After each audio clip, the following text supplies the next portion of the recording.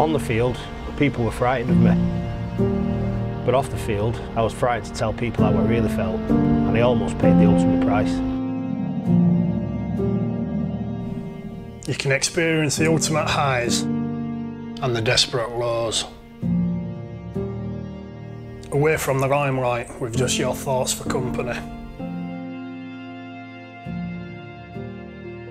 What you see isn't always what you get. And in rugby league, just like in life, don't be afraid to ask for support.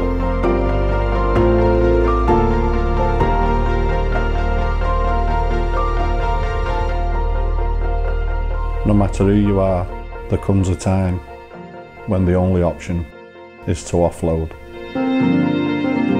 Two and a half years ago, I drank a bottle of morphine. I now run my own charity. And it's life. You know, there's a purpose now. I get to meet people like you.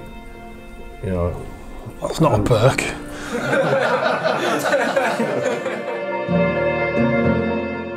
you know, there's no waiting list. You come, you speak, you don't speak.